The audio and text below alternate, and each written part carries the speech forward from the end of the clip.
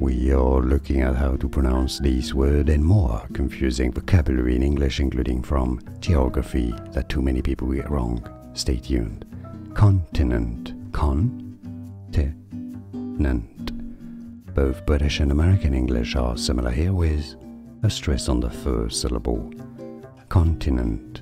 Continent. And now you know, like this video, if you found it useful, I appreciate your support. More videos for you here to learn more. Thanks for watching.